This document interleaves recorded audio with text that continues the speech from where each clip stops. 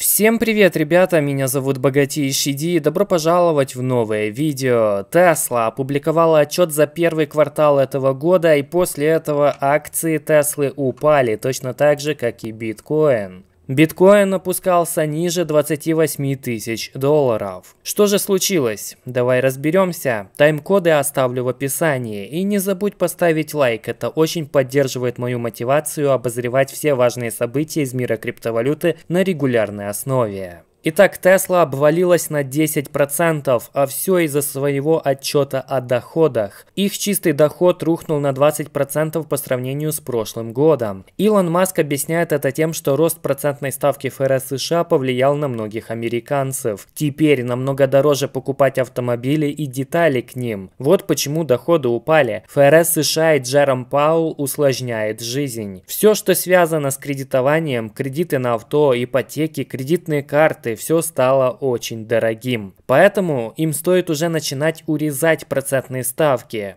подчеркивает Илон Маск. Но в целом, если посмотреть на абсолютные цифры, они весьма неплохие. Просто по сравнению с прошлым годом они выглядят хуже. Кроме этого, SpaceX впервые в истории запустил сверхтяжелый космический корабль. Чтобы ты понимал масштабы, запуск этого корабля и его носителя привел к тому, что в радиусе 10 километров от стартовой площадки все засыпало песком. У кого-то даже пострадали автомобиле. Илон Маск назвал эксперимент успешным, однако в результате и ракета-носитель, и сам звездолет были уничтожены взрывом спустя несколько минут после запуска. Это тоже повлияло на акции Tesla, на биткоин и даже на Dogecoin, который обвалился после этого события. Учитывая эту логику, если у SpaceX в следующий раз все получится, собака-монета, возможно, будет расти. Илон Маск угрожает подать в суд на Microsoft за то, что компания использовала внутреннюю информацию Твиттера для того, чтобы улучшить свой искусственный интеллект. Также перед этим Microsoft удалила Twitter из своей рекламной платформы, отказываясь платить за сборы Twitter API. Илон ответил, они обучали свой искусственный интеллект нелегально используя информацию Твиттера, а значит время для судебного иска. Рынок тоже не очень обрадовался этим новостям. Но как это все связано с биткоином? Наверняка ты помнишь, что Тесла владеет биткоинами. Затем Илон Маск решил продать некоторое количество монет, потому что, как он сказал, ему нужны были деньги. Но Тесла до сих пор держит значительное количество биткоинов на сумму около 200 миллионов долларов. Из свежего отчета становится понятным, что Тесла не продала ни одного биткоина за прошлый квартал, но и не купила тоже ни одного биткоина. Несмотря на то, что их доходы упали на 20% 10% за год, они не продали биткоин. Илон Маск в сердце биткоинер. Он много раз может шутить на тему Догикоина, но он говорил множество раз, что биткоина у него больше, чем мемной криптовалюты. Кроме этого, Илон Маск держит и эфириум. Но речь ведь не только о Тесле. Посмотри на этот огромный список. Это количество компаний и даже стран, которые держат биткоин официально. Самым большим количеством биткоинов владеет, конечно же, микростратегия. Это 140 тысяч биткоинов и почти 4 миллиарда долларов они сейчас стоят. По странам официально известно о том, что биткоин держит правительство Украины, США, Сальвадора, Грузии Болгарии Болгарии, однако недавно вышла новость о том, что королевство Бутан тайно инвестировало в биткоин, и сколько таких стран, которые в секрете держат биткоин, неизвестно. Давай рассмотрим баланс биткоинов. Этот баланс достиг своего пика 12 мая 2022 года, это было 706 713 биткоинов, затем компании только лишь продавали свои биткоины до тех пор, пока в марте 2023 года не достигли минимума минимума в 509 817 монет. И с конца марта они только лишь накапливают биткоины и сейчас достигли уже 522 тысяч монет. В Телеграме, когда я писал, было 509 тысяч. Тем не менее, мы видим, что за последние 20 дней они купили более 10 тысяч биткоинов. На данный момент, если учитывать и компании, и правительства, которые официально заявляли о владении биткоинами, они контролируют почти 8%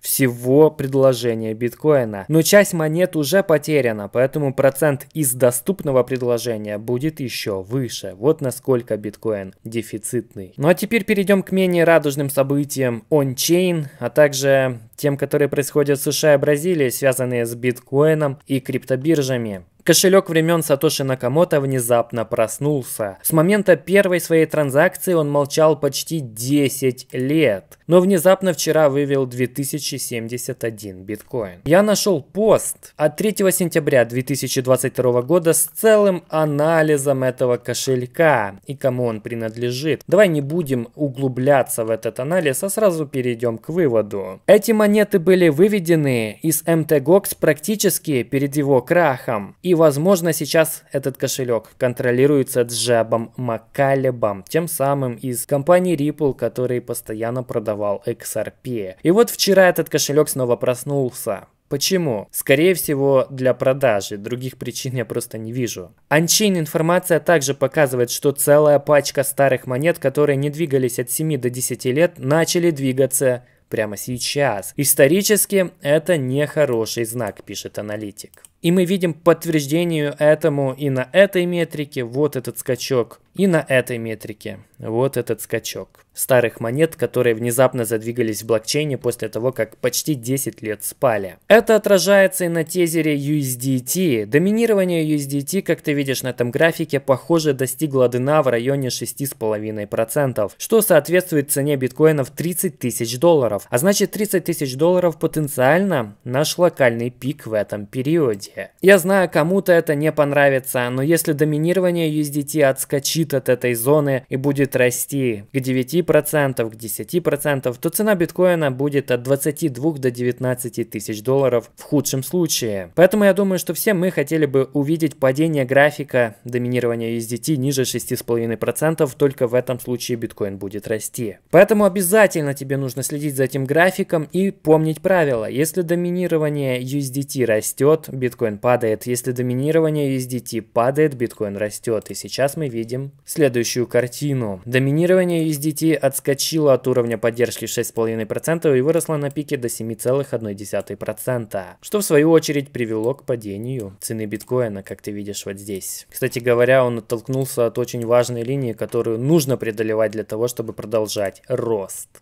Теперь перейдем к Binance и Coinbase. Полиция Генпрокуратура Бразилии обвинила Binance в финансовых преступлениях. Не обошлось и без комиссии по ценным бумагам и биржам США, которая заявила, что Binance продолжает предлагать сервисы бразильским клиентам, несмотря на приказ о прекращении это делать. Возможно, такие новости тоже повлияли на биткоин. Но хочу заметить, что у Binance уже были такие проблемы в прошлом, например, на Мальте, и на длинной дистанции ни к чему плохому это не привело. Но на краткосроке, понятное дело, биткоин может упасть. Одна из крупнейших криптовалютных бирж Coinbase несколько дней назад заявила о том, что рассматривает возможность покинуть территорию США. Но уже вчера стало известно, что Coinbase планирует запустить офшорную биржу деривативов уже на следующей неделе. И где же она будет базироваться? Возможно, на Бермудских островах, потому что именно там несколько дней назад она получила лицензию на работу, то есть биржа будет абсолютно легально работать в регулировании контролируемой дружелюбной юрисдикции. Это фактически эвакуационный зеленый коридор с территории Соединенных Штатов. Но здесь есть один момент для тех, кто паникует, для тех, кто боится, что Coinbase уйдет из США. 84% дохода биржи в 2022 году приходилось как раз таки на внутреннюю аудиторию США. Готова ли биржа потерять такое количество прибыли и довольствоваться лишь 14% оставшейся? Сомневаюсь. Похоже, Похоже, что все ее заявления сейчас это просто-напросто блеф. На этом все. Меня зовут Богатейший Ди. Увидимся в новых видео. До скорого.